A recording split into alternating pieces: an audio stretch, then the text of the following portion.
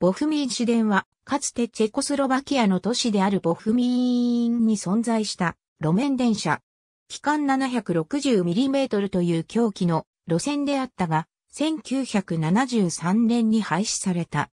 ボフミーンの主要駅であるボフミーン駅は1847年に完成したが、鉄道への反対運動をはじめとした経緯から、ボフミーン郊外のシュニフル村に建設された。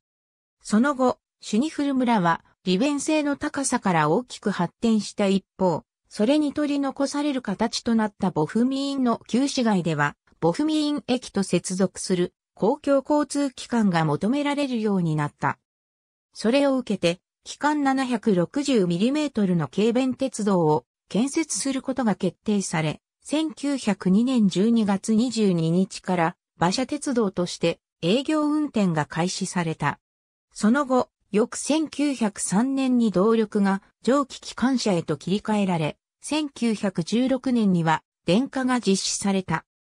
運営は長らくボフミン市によって行われていたが、第一次世界大戦や第二次世界大戦を経た1947年にシレジア地方鉄道へ運営権が移管された後、1949年以降は近隣地域の公共交通事業者と共にオストラ橋交通局へと統合された。